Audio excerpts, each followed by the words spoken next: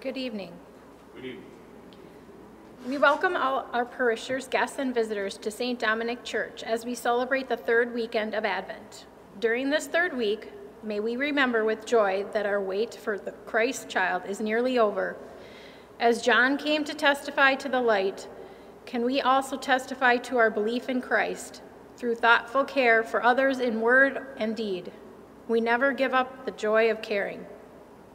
As we continue to wear masks for our own safety and those around us, we are reminded to social distance when in the communion line and especially when leaving church. During these times of COVID, communion will be distributed only in the hand. If you require something different than this, please see the priest after Mass. This Mass is offered for the intention of Jim and Millie LaCroix, 50th wedding anniversary, and Bernita Keys and Romy Keys. Our opening song is Ready the Way, verse 1.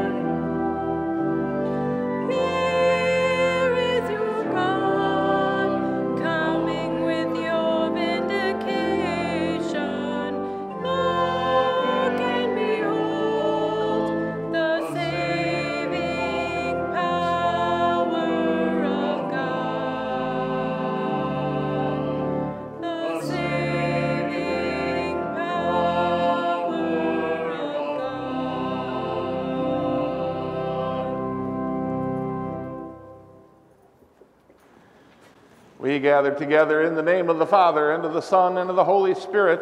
Amen. The grace and peace of our Lord Jesus Christ, the love of God, the communion of the Holy Spirit be with you all. With Good afternoon, everybody. Good afternoon, Today, as we said before, our theme is joy, but it is Gaudete Sunday, which means rejoice. We take a little time with our readings to reflect on what it means. Our first reading today, though, it's all about our sin. But the anecdote is the one who comes, and that's who is being foretold. Now, let us light our second uh, candle, or our third candle, the pink one, for our rejoicing as we celebrate our Advent season.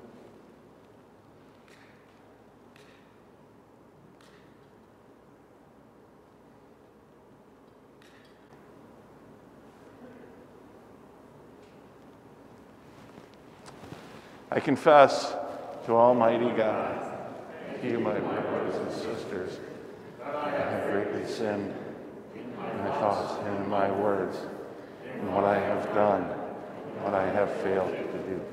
Through my fault, through my fault, through my most grievous fault.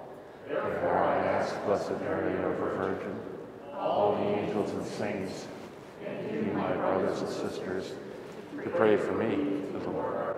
May Almighty God have mercy on us, forgive us our sins, and bring us to everlasting life.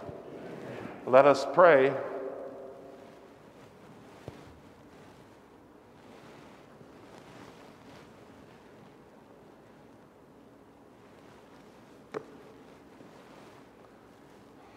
O God, who see how your people faithfully await the feast of the Lord's Nativity, enable us, we pray to attain the joys of so great a salvation and to celebrate them always with sol- solemn worship and glad rejoicing. Through our Lord Jesus Christ, your Son, who lives and reigns with you in the unity of the Holy Spirit, one God, forever and ever.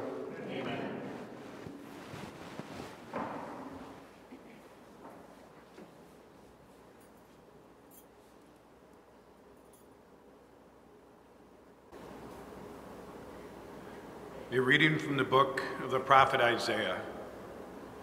The Spirit of the Lord is upon me, because the Lord has anointed me. He has sent me to bring glad tidings to the poor, to heal the brokenhearted, to proclaim liberty to the captives and release to the prisoners, to announce a year of favor from the Lord and a day of vindication by our God. I rejoice heartily in the Lord. In my God is the joy of my soul. For he has clothed me with a robe of salvation and wrapped me in a mantle of justice, like a bridegroom adored with a diadem, like a bride bedeckled with her jewels.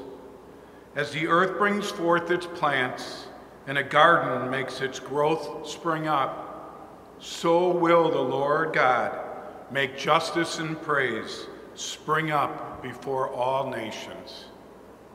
The word of the Lord. Thanks be to God.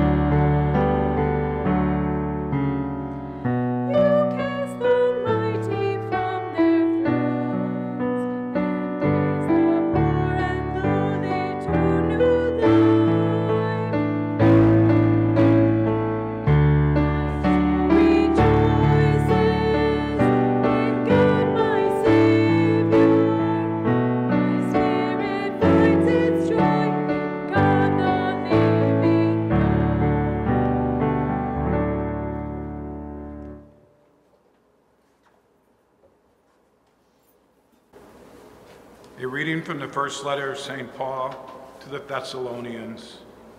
Brothers and sisters, rejoice always, pray without ceasing. In all circumstances, give thanks, for this is the will of God for you in Christ Jesus. Do not quench the Spirit. Do not despise prophetic utterances. Test everything. Retain what is good refrain from every kind of evil. May the God of peace make you perfectly holy, and may you entirely, spirit, soul, and body, be preserved blameless for the coming of our Lord Jesus Christ. The one who calls you is faithful, and he will also accomplish it. The word of the Lord. Thanks be to God.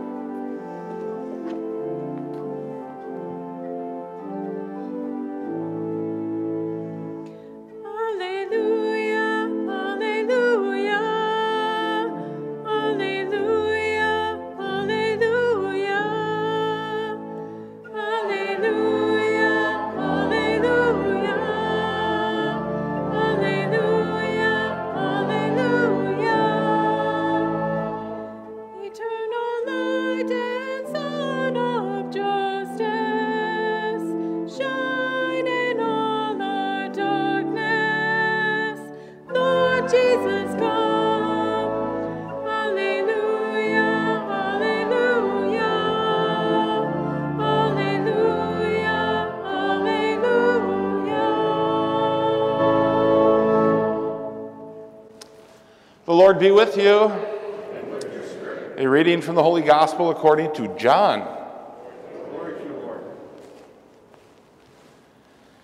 A man named John was sent from God. He came for testimony to testify to the light, so that all might believe through him. He was not the light, but came to testify to the light. And this is the testimony of John.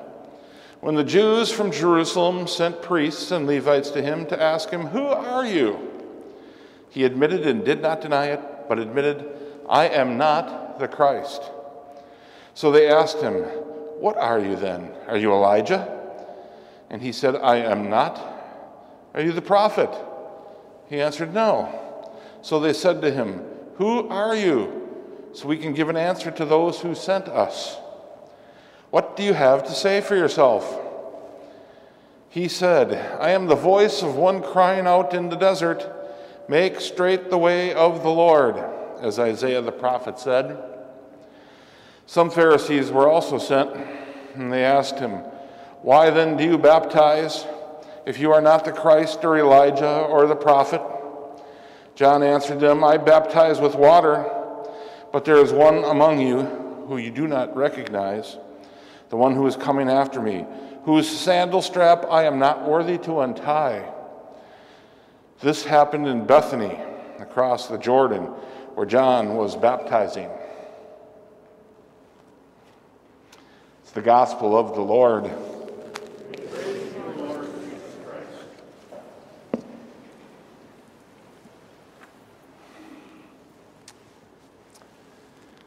I think we as human beings, we have this propensity to make our ordinary setbacks in life into real cosmic tragedies and cosmic dramas. There's one thing I noticed in life when where there's drama, there's not going to be any joy in life. Advent, it's just a wonderful time for us to reflect and root out the causes of the dramas of our lives. We have to admit something, though. We have to admit that God made us to be um, dependent on Him and not self reliant. The weekend, this weekend, we focus on joy and what it means. Rejoice, rejoice Sunday. But I really want to focus on what steals our joy from us. What steals our joy so we can prevent that from happening? Now, as a priest, over the years, I've wandered around the playgrounds on the places I was. And I saw a lot of sad faces occasionally. And I'd, I would just go up and ask the kids, hey, what's going on here today? And uh, kids would say, oh, just a bunch of drama going on. I think they like to use that, middle school girls especially, like that phrase, drama. Watch adults on reality TV show, watch them on court shows. Dr. Phil, you see drama. You see drama in life. How about us? Do we live our lives or does drama affect them? Is drama stealing joy from your life? Conflict with others, work, school, friends, that usually tends to be one of the biggest points. Hope and peace, that was our theme for the last two weeks. The tradition of Third Sunday is always rejoice, rejoice Sunday, but we're just using joy. Same thing. Joy, rejoice, the message of joy from God. In our first reading, as I mentioned earlier, is really from the prophet Isaiah. He announces just that. You know what? There's going to be some joy going on here. And Jesus reads this passage of Isaiah at the synagogue. It's the opening thing he did in his ministry. He read from this passage.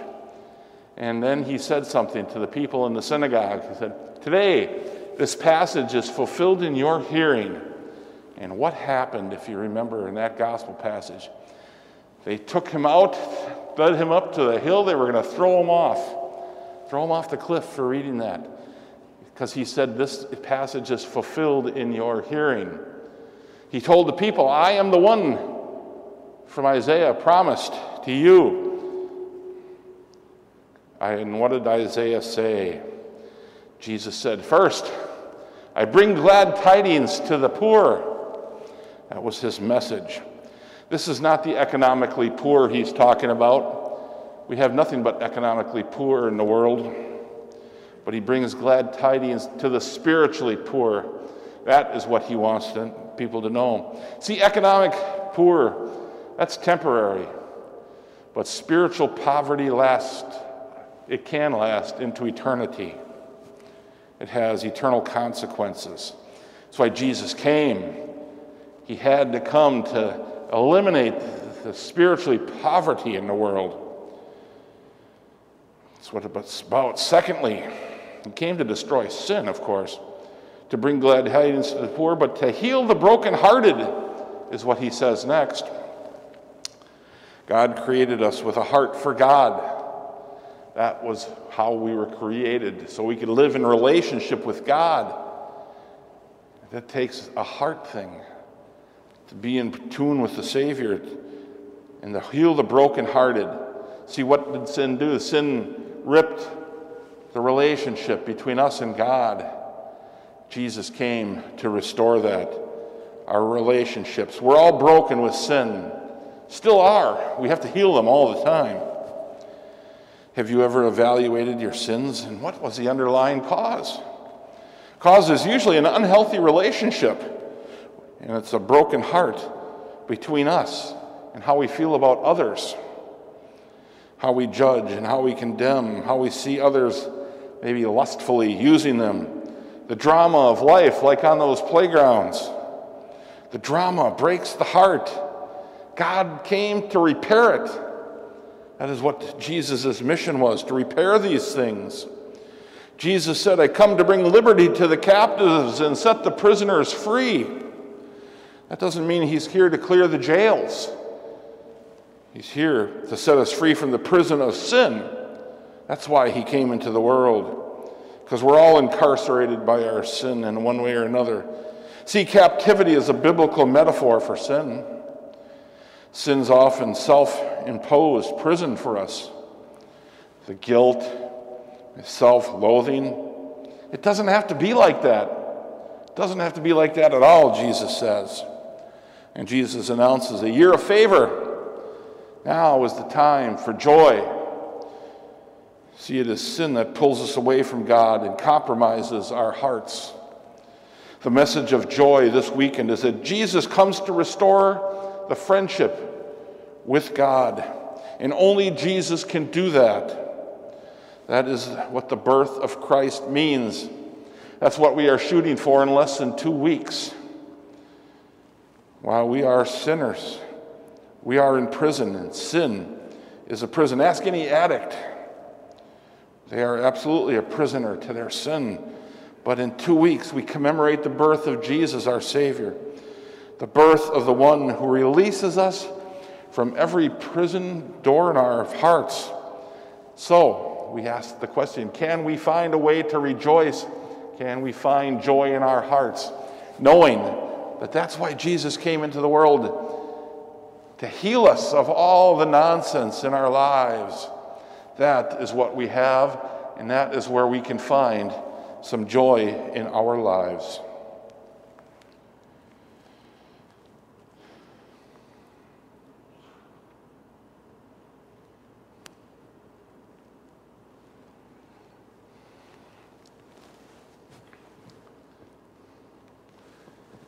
And now let us stand and profess our faith.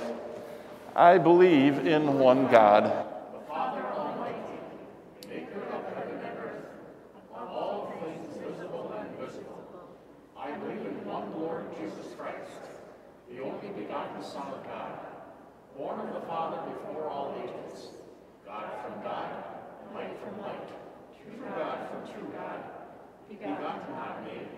consubstantial with the Father.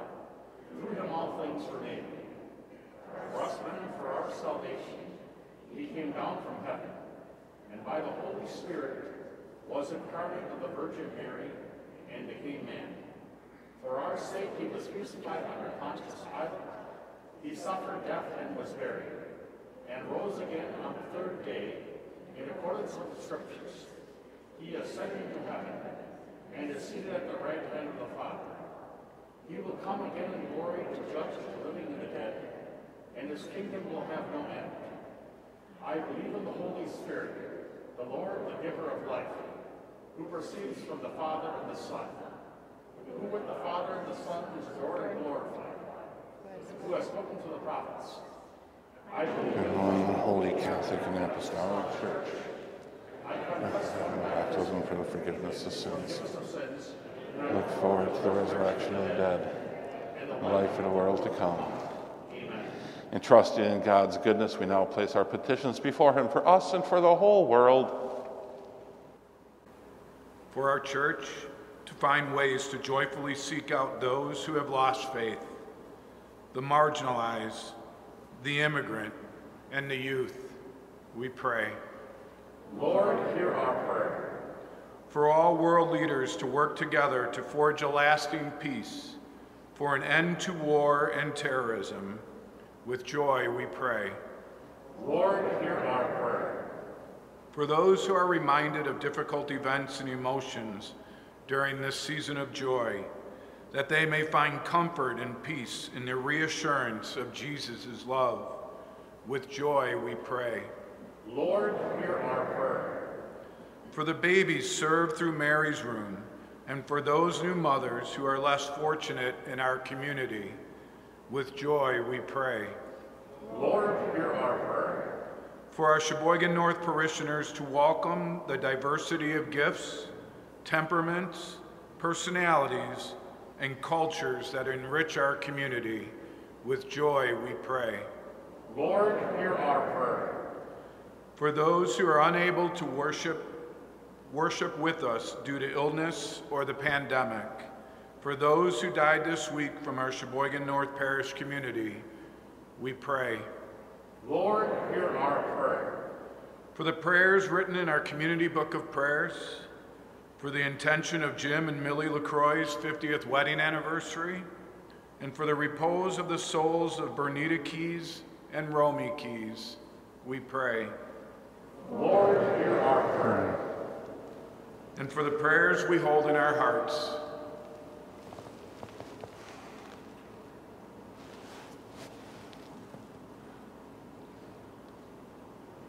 With joy we pray. Lord, hear our prayer. Loving God, we ask you to hear these and all our prayers through Christ our Lord, we pray.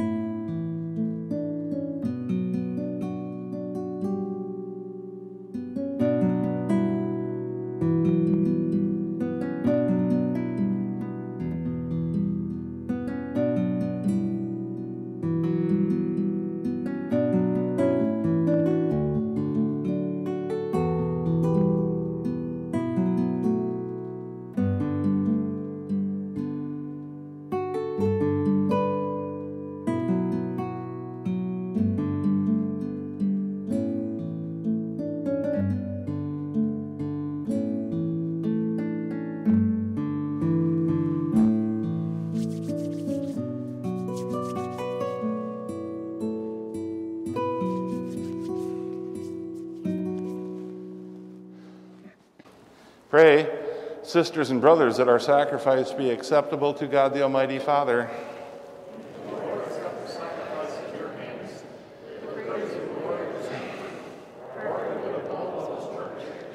May the sacrifice of our worship, Lord, we pray, be offered to you unceasingly to complete what was begun in sacred mystery and powerfully accomplish for us your saving work through Christ our Lord. The Lord be with you. Lift up your hearts. Let us give thanks to the Lord our God. It is truly right and just, our duty, our salvation, always and everywhere, to give you thanks, Lord, Holy Father, Almighty and eternal God, through Christ our Lord. For all the oracles of the prophets foretold him, The Virgin Mother longed for him with love beyond all telling. John the Baptist sang of his coming and proclaimed his presence when he came. It is by his gift that already we rejoice at the mystery of his nativity, so that he may find us watchful in prayer and exultant in his praise. And so, with angels, archangels, thrones, dominions, with all the hosts and powers of heaven, we sing the hymn of your glory, as without end we acclaim.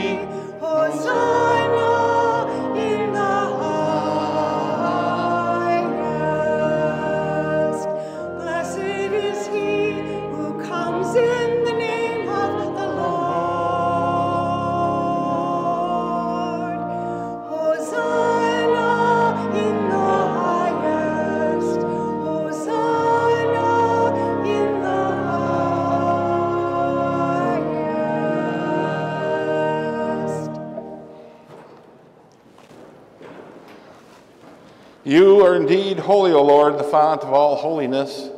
Make holy, therefore, these gifts, we pray, by sending down your Spirit upon them like the dewfall, so that they may become for us the body and the blood of our Lord Jesus Christ. At the time he was betrayed and entered willingly into his passion, he took bread and giving thanks, he broke it and gave it to his disciples, saying, Take this, all of you, and eat of it, for this is my body, which will be given up for you.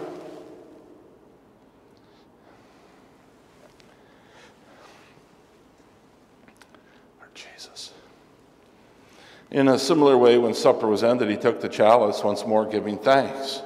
He gave it to his disciples, saying, Take this, all of you, and drink from it. For this is the chalice of my blood, the blood of the new and eternal covenant, which will be poured out for you and for many for the forgiveness of sins. Do this in memory of me.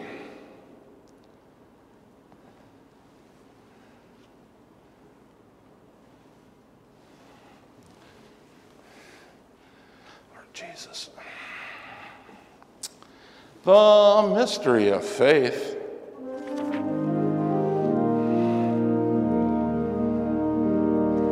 We proclaim your death,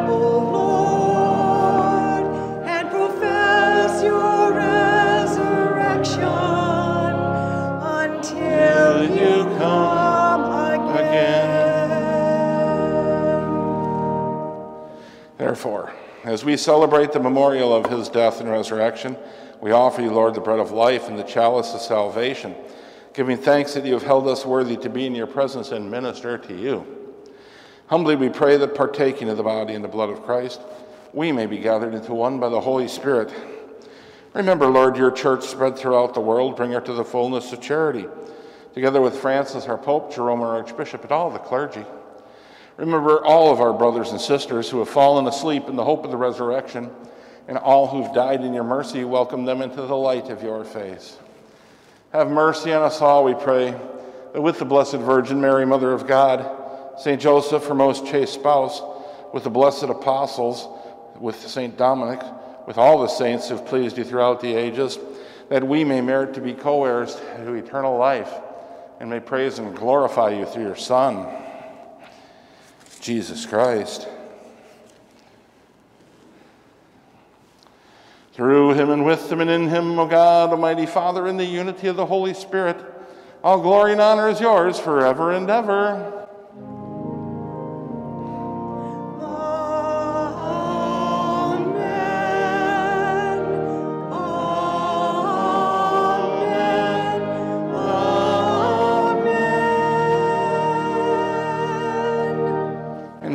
People formed by divine teaching. Let us dare say the words our Savior gave to us Our Father, who art in heaven, hallowed be thy name. Thy kingdom come, thy will be done, on earth as it is in heaven. Give us this day our daily bread. Forgive us our trespasses, as we forgive those who trespass against us. And lead us not into temptation. Deliver us from evil. Deliver us, Lord, we pray, from every evil. Graciously grant peace in our days. By the help of your mercy, we may be always free from sin and safe from all distress, as we await the blessed hope and the coming of our Savior, Jesus Christ.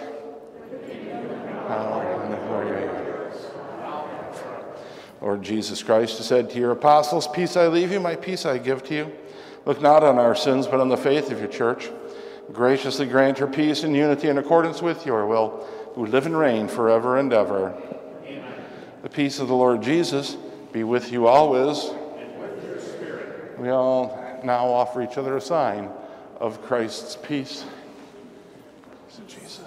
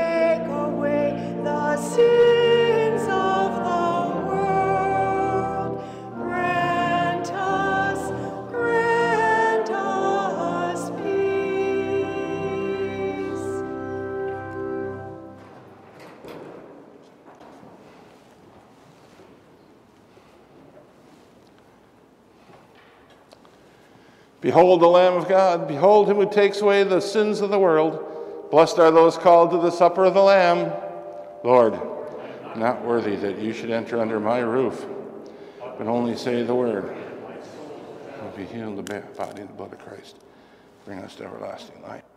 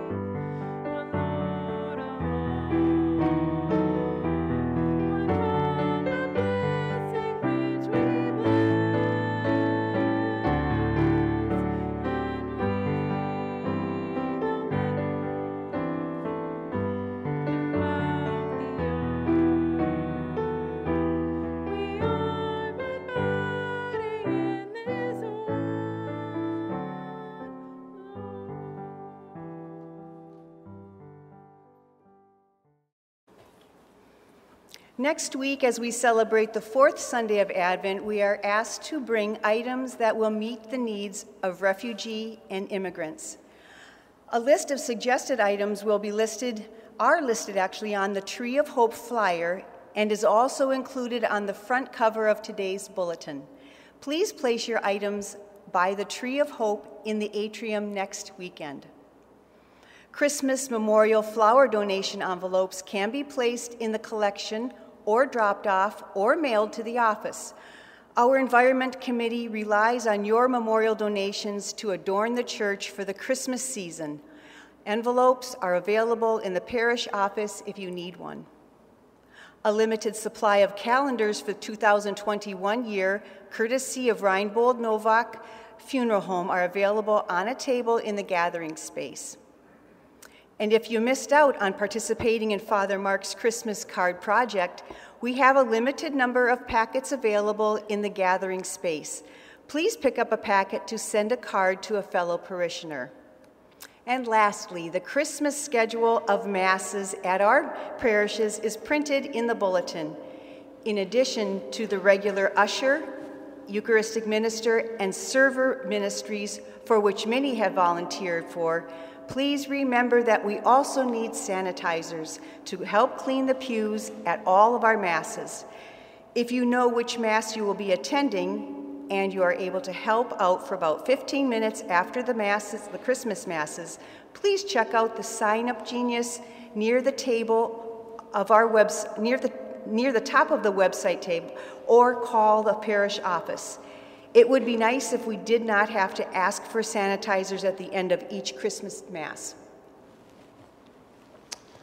Um, we're also going to start preparing you for uh, Christmas Masses. Um, there's a real threat that there might not be room at the inn on, uh, on Christmas Eve Masses. We've doubled the amount of Masses basically, um, but you know, we have to keep every other pew, and those Masses were already overflowed to capacity. Please consider and pray about what Mass you want to attend. We do have uh, Christmas Day Masses also, and a 10 o'clock at Holy Name. Um, but uh, there's a 3 and a 5 o'clock Mass here. Normally it's just the 6. Um, but uh, know that uh, we could have overflowed crowds, and we still have to remain vigilant about this. We are so close to the end, people, with the vaccine and everything.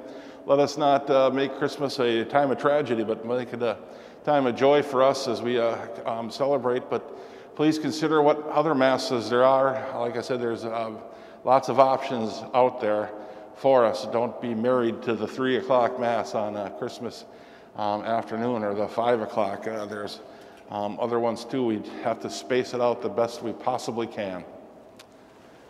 Let us pray.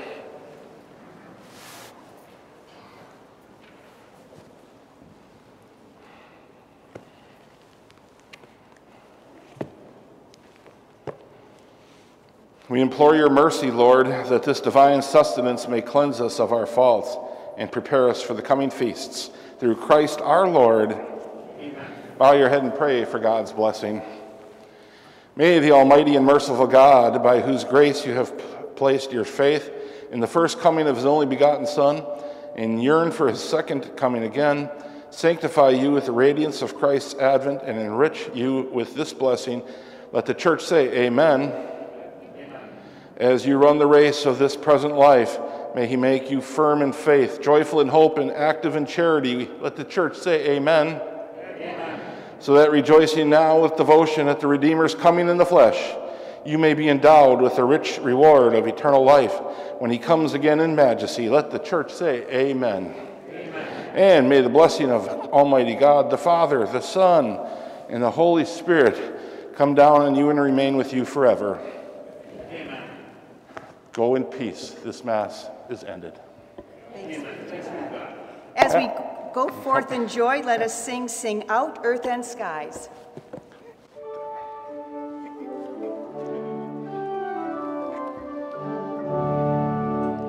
Come, O God of all the earth, come to us, O righteous one. Come and bring our love to birth